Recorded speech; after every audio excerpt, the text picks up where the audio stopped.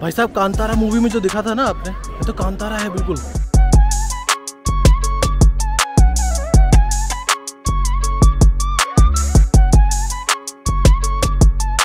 अगर आपने ऋषिकेश में राफ्टिंग करी है ना तो एक बार इधर आइए और यहाँ भी राफ्टिंग करो अभी लाइफ जैकेट पहन रहा हूँ मैं। तो अब मेरा टूर शुरू हो रहा है। वाह तो ये कावला केव जो है, एक बार खोली जाती है, वो भी शिवरात्रि पे। ब्लैक टाइगर जो होता है ना, उसका रिज़र्व एरिया है पूरा ये।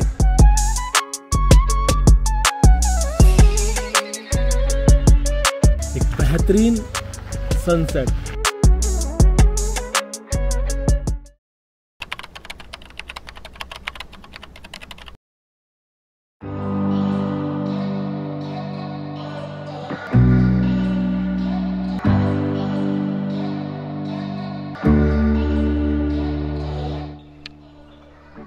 गुड मॉर्निंग दोस्तों हम्पी और अजनाद्रे हिल और किशकिंदा ये सब करने के बाद मैं उधर गुलबर्गी बिदर होते हुए आज जो है डंडली में आया हूँ। उत्तर कन्नड़ा डिस्ट्रिक्ट में पड़ता है और ये वेस्टर्न जो कोस्टल इलाका जो पड़ता है, उसके ऊपर आता है। अब हम इसको देखेंगे। आइए।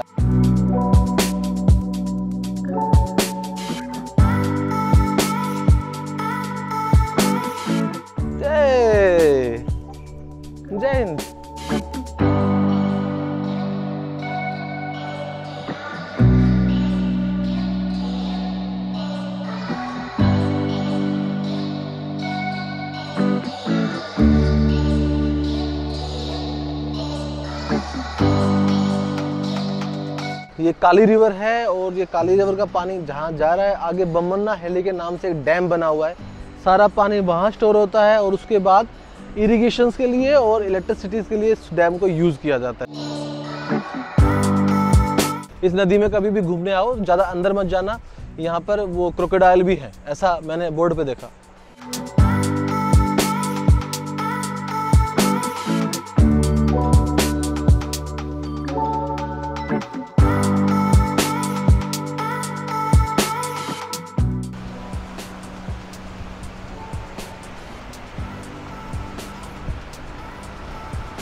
मैं थोड़ा लेट हो गया और अगर आप सुबह छः बजे के आसपास उठ के आएँगे यहाँ पर तो आपको सनराइज़ का भी अच्छा एक्सपीरियंस मिलेगा यहाँ पे। और पानी की जो आवाज़ है, ये भी बड़ी सुंदर है। नेचर के बड़े करीब हैं।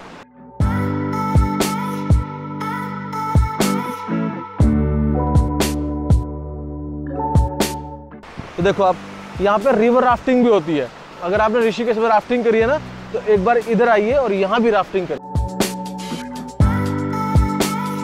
काश मेरे को तैरना आता, लेकिन मैं फिर बोलूँगा ना ये बात, कि मैं जिस स्टेट से बिलोंग करता हूँ ना, वहाँ ना नदी है, ना तालाब है, ना झील है, ना पहाड़ है, कुछ नहीं, हम तैरना सीख ही नहीं पाए।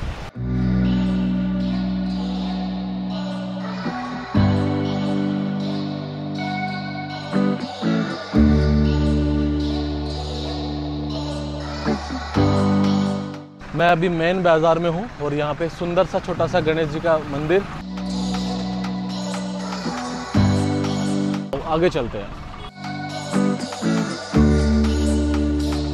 एक चीज़ मैं बताना चाहूँगा इसमें, अगर आपको लगता है आप यहाँ पे आ रहे हो और मेक माई ट्रिप या फिर जिस भी प्लेटफॉर्म से आपको लगता है कि बुकिंग करनी है और आपको बजट होटल नहीं मिल पा रहे हैं तो आप ये क्लॉक टावर के पास आओ बस स्टैंड के पास। यहाँ लाइन से लॉज रेस्टोरेंट होटल्स हैं, जहाँ आपको 600 से 800 रुपए या 1200 जो भी जितना बजट आपका है स्टार्टिंग 600 रुपए से आपको बेड मिल जाएँगे।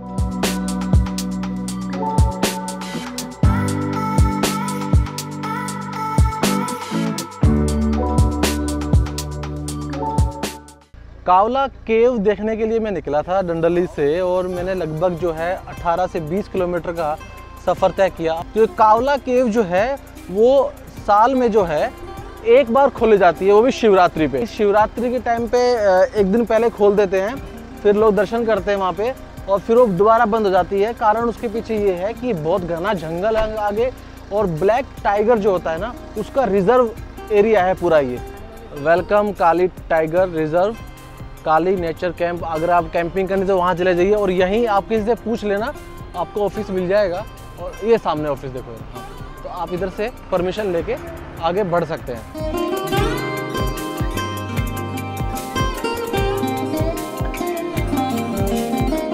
मॉर्निंग दोस्तों, नमस्कार, जय हिंद। तो आज हम लोग जा रहे हैं नहाने के लिए तुंगभद्रा रिवर पे।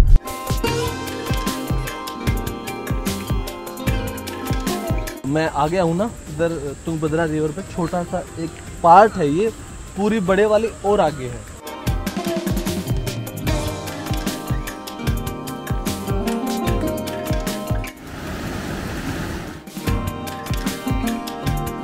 तो ये छोटा सा पुल है इस नदी को पार करने का। आवाज़ सुन रहे हो पानी की? देखो, इतना साफ़ पानी है।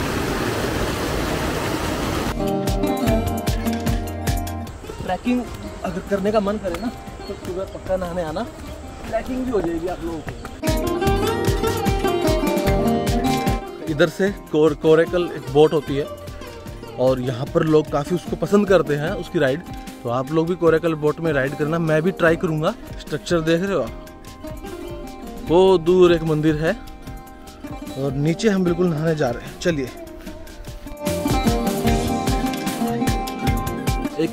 बहुत ही अच्छी इंजीनियरिंग दिखाऊँ आपको मैं। ये सामने आप जो खंबे देख रहे हो ना बड़े बड़े पोल। तो और जब ये देखोगे तो उसके बाद आप ये सब भी देखोगे यहाँ पे। ये देखो। ये जितनी भी क्यूब बनी हुई है तो ये क्या है कि उन दिनों नदी को पार करने के लिए ये ब्रिज बनाया गया था। हालाँकि अब तो पूरा टूट गया। देखो, उधर से एक गिरा हुआ, इधर देखो सारे जो गड्ढे दिख रहे हैं ना, इनके अंदर ये फंसा के, ये बड़े बड़े पत्थर फंसा के, इनके ऊपर ऐसे खड़े कर दिए गए, फिर उसके ऊपर डाला गया होगा और ये ब्रिज बनाया, क्योंकि ये मंदिर है, एक सामने देखो आपके, ये मंदिर है, ठीक है।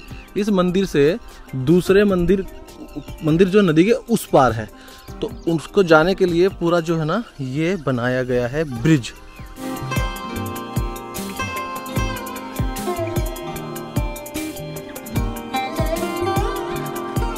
कोरेकल जो बोट में बोलता हूँ ना आपको, जिसकी राइड करते हैं, वो कुछ ऐसी होती है और हम इसके अंदर ट्राई करेंगे राइड करने के लिए।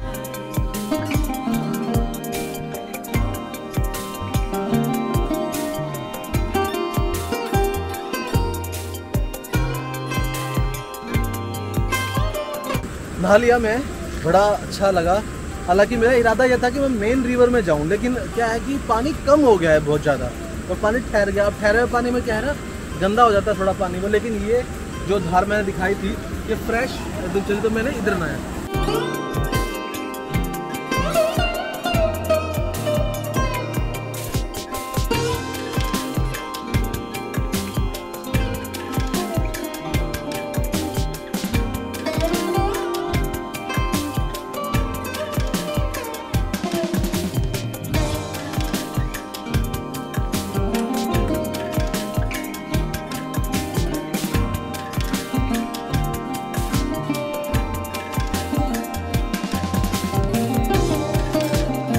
मैं पिछली बार भी आया था ना किशकिंदा में तो अ, क्या था कि शूट तो आपने देखा किशकिंदा का? मैं रिटर्न जब यहाँ से निकला तो मुझे कुछ पता लगा कि यहाँ पे एक झील है सना सना लेक है ये। देखो मैं आपको दिखाता हूँ। और मैं काफ़ी मुझे ये लगता है कि शायद मैंने बहुत बड़ी चीज़ें उस टाइम मिस कर दी जो मैं उस टाइम आपको दिखा सकता था। यहीं पर ही वो जो अ, मैंने आपको गोर वाली बोट दिखाई थी ना और इसी जगह पर वो कोनेकल जो बोट होती है उसकी आप राइड कर सकते हो। अच्छा मैं एक चीज़ और दिखाता हूँ, जल्दी आओ। आपको दिखाता हूँ। ये है वो सना लेक। इस सना लेक का ज़्यादातर जो यूज़ है, इसका पानी खेती करने में करते हैं। वो दिखाता हूँ बोटिंग, वो बोट दिखाता हूँ। ये देखो, ये रही बोट्स। ये दिख रही है बोट्स। ये बोट्स हैं। मैं भी ट्राई करूँगा इसमें बोट में जाने की।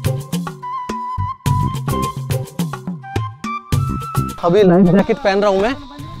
मैंने बार्गेनिंग कर ली है। बार्गेनिंग करो, ये लोग बहुत पैसा लेते हैं। ठीक है, मेरी बात होगी छः सौ रुपये में।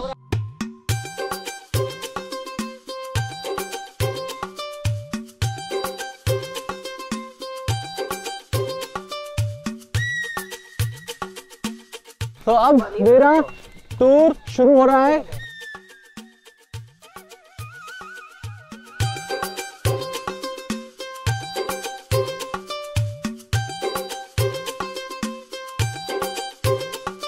ये जो पानी से छन छन के हवा आ रही है ना इसका जवाब नहीं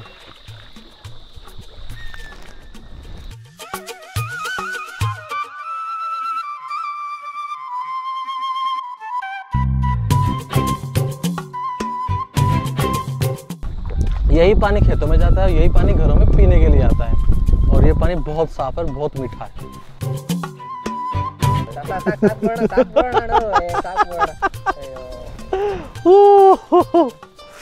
वाह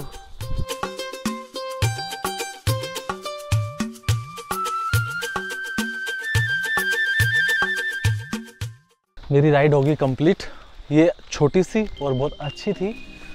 ज़्यादा इसमें आपको जो डरने की बात नहीं है. मैं कहूँगा कि अगर जब भी आप इधर इस तरफ़ आओगे हम्पी की साइड आओगे, और ये किशिंदा या फिर अंजनाद्रे वगैरह देखो तो ये बिल्कुल वहाँ से मात्र पाँच किलोमीटर दूरी के ऊपर ये सोनार लेक है।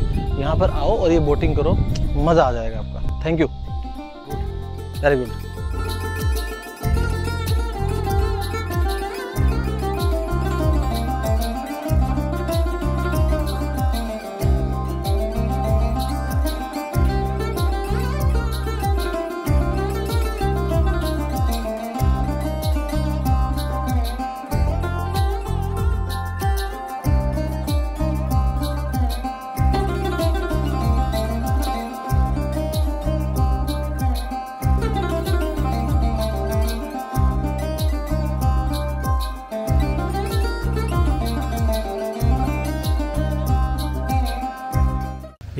बेहतरीन सनसेट।